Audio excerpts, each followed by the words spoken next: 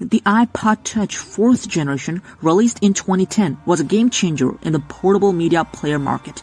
It was the first iPod Touch to feature a retina display and a front-facing camera for the FaceTime video calling. With its slim and stylish design, the iPod Touch 4th generation was a must-have gadget for music lovers and tech enthusiasts alike. It offered up to 64 gigs of storage capacity and a powerful A4 processor for lightning-fast performance. The iPod Touch 4th generation also came loaded with iOS 4, which introduced a host of new features like multitasking and FaceTime video calling. It had access to the App Store, which offered a vast selection of apps, games, and other digital content. Whether you were looking to stay entertained on the go or stay connected with friends and family, the iPod Touch 4th generation had something for everyone. It was the perfect device for music lovers, gamers, and anyone who wanted to experience the latest in mobile technology.